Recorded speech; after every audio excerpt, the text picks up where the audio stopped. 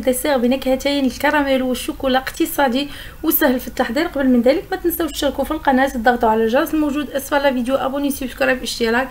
ضروري من ضغطوا على الجرس الموجود بجانبه ثم وضع علامة في المربع. والضغط على حاول وتاكدوا أن الجرس تغير وأصبح بهذا الشكل.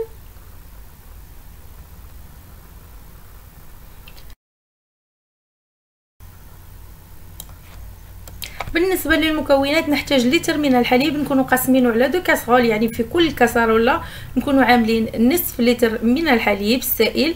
نحتاج السكر على حسب الذوق يمكن ملعقتان كبيرتان. غنحتاجو النشا غنحتاجو في كل نصف لتر حليب نعملو زوج المعالق أو ملعقتان من النشا أو المايزينا.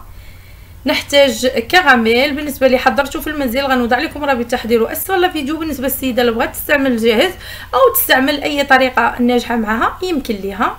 وغادي نحتاجو الشوكولا أسود أي نوعية أي مارك البنات ما تلتزموش بلا مارك اللي عندي أنا. المهم يكون شوكولا أسود وعلى البارد من دون ما نشعلو النار. غادي نضيفو ملعقتان من النشا في كل نصف لتر من الحليب. بالنسبة لي كنبان لكم ضفت غير آه، ملعقة واحدة لاني سبق آه، قبل ما تقطع لي الكاميرا كنت ضفت آه، ملعقة كبيرة. كد لي فيه جوج المعالق ديال النشا أو المايزيلا في كل نصف لتر حليب.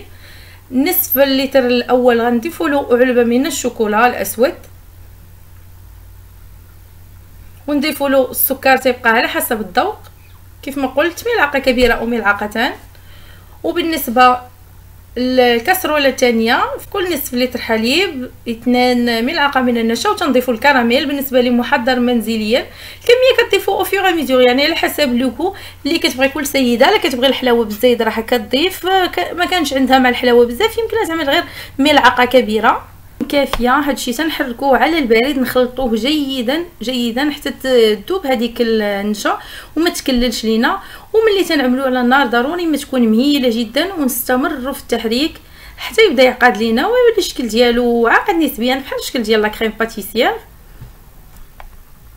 غنحتاجو دي فيغين أو كؤوس زجاجية ممكن تكون كبيرة أو صغيرة. ممكن السيدات تعملوا في زليفات على حسب ذوقها.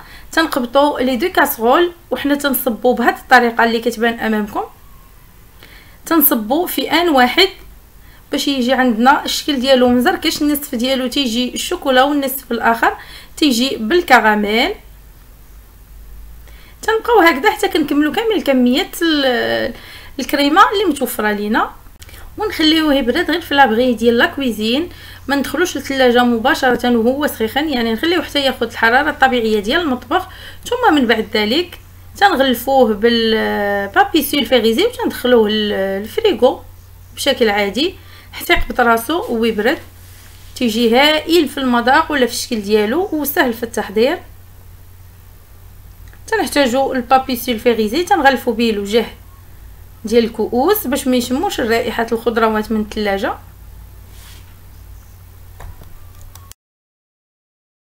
ندخلوه للفريغو. حتى يقبط راسو بطبيعة الحال كيف ما قلت لكم من بعد ما تياخذ الحرارة الطبيعية ديال المطبخ وما تيبقاش سخيخن تندخلوه للثلاجه وننتظروا عليه حتى كيقبط راسو.